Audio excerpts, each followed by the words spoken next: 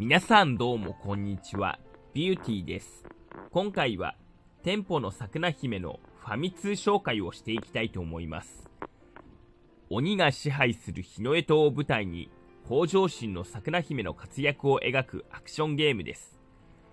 プレイヤーは農具伸縮自在の羽を使った爽快アクション、本格的な米作りなどを体験します。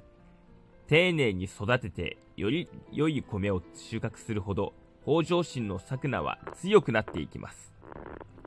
武器による華麗な連続攻撃、農具を使った様々な武器を駆使して鬼を退治します。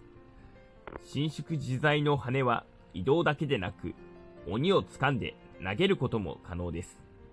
なんかこれを聞くと、なんかあの、あれ、ミドナみたいな感じがしますね。まああの、ミドナの場合は、なんか頭の触手ですけどね。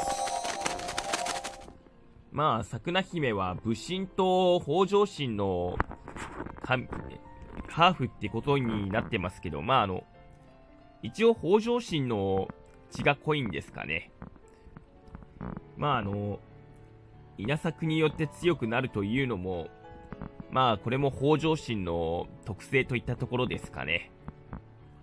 そして武器の方は武神の血によって使える技みたいな。というわけで今回はこの辺で、店舗の桜姫のファミ通紹介を終了していきたいと思います。見てくださった方々、ご視聴ありがとうございます。チャンネル登録及び SNS での拡散をよろしくお願いします。